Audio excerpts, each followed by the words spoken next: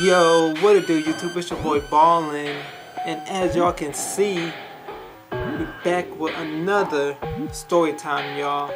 And um, this story time is all about the first time I got booed on stage, y'all. Like, as if, like, if y'all didn't know before, before I started YouTube, I was a rapper, and uh,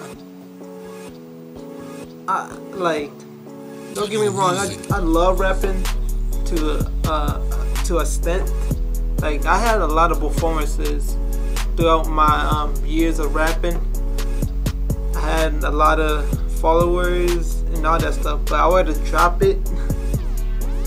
I rather just drop it and just do YouTube because YouTube you do you be so creative with your content and stuff and that's what I love about YouTube, y'all.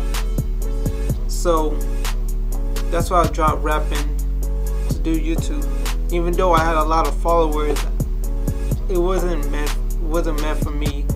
But that's like a little side story to let y'all know that uh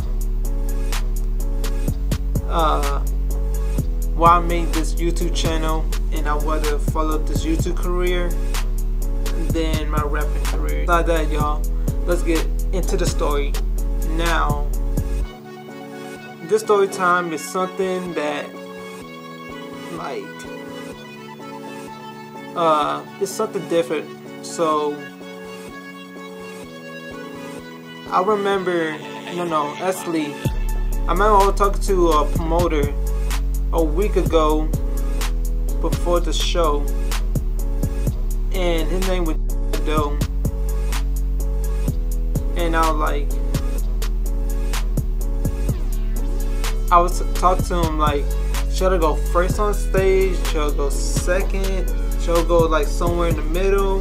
Like when this was like my senior year of high school, so I didn't know what I wanted to do. I was like all in the mix,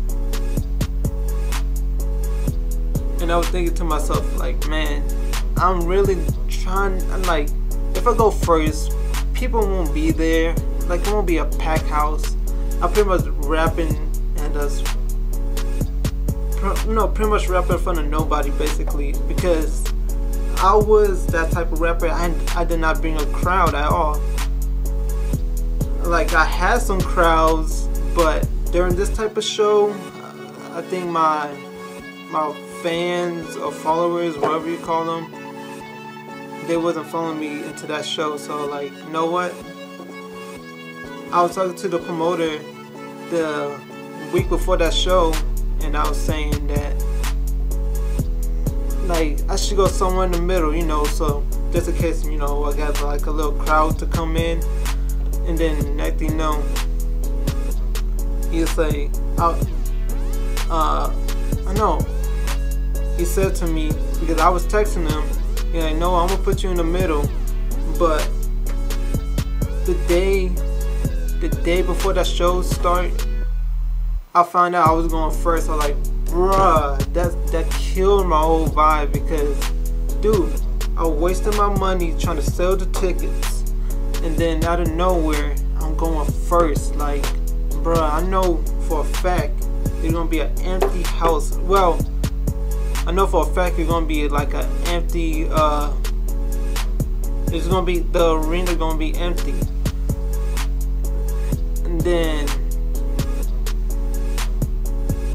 I remember one of my friends was performing with me. He was he's he was like right. He was like third person to perform. His name was LJ Savage, but I was the first one to perform, and um